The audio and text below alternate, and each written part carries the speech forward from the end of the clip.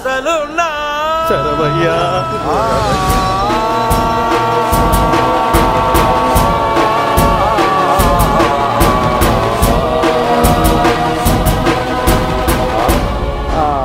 ఎవర్రాది అయ్యా నేను కాటికాపురు గురవేనండి. నేను విభూతి శరవేనండి బాబాయ్. ఓహో మీరా?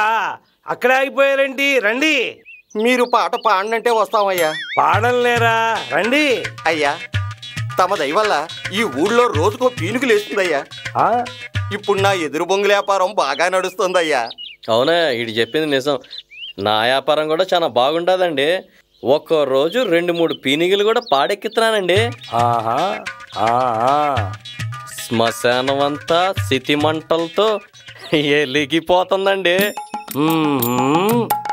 ఇదంతా తమ పాట మహత్యమని ఊరంతా అనుకుంటుంటే విని ఒక పాలి తమ దర్శనం చేసుకుందామని వచ్చామయ్యా. వీళ్ళిద్దరిని చూస్తుంటే నన్ను పొగుడుతుండారా తిడుతుండారా? బాబాయ్ తమరి పాట వైకుంఠానికి రాసబాటండి.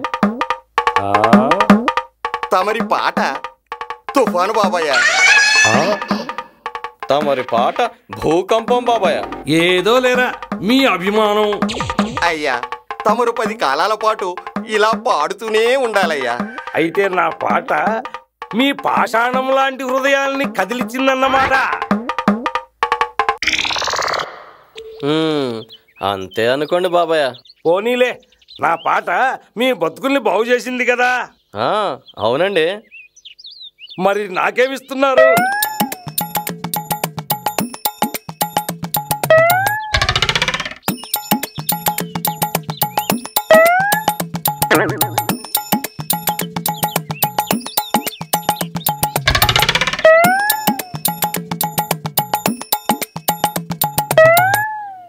చెప్తానుండండి.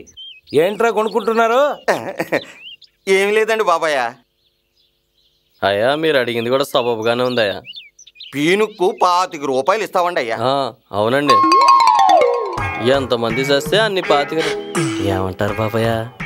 చిచి పీనుగుల తగలెట్టిన సొమ్ము నాకెందుకురా? రాక రాక నా దగ్గరకు వచ్చారు. పైగా నా అభిమానులు.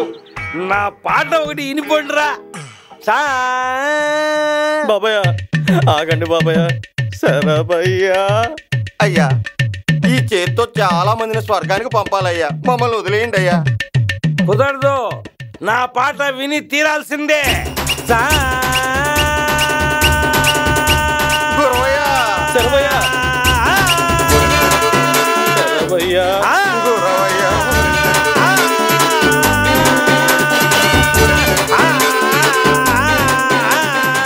గురవయ్య ఇంకా ఇక్కడే ఉంటే. ప్రాణాలు తక్కువ పారిపోదాం.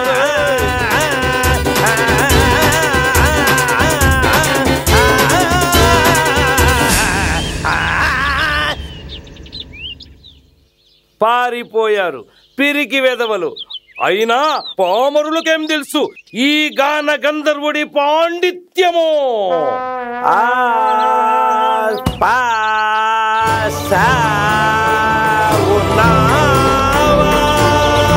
hasta los.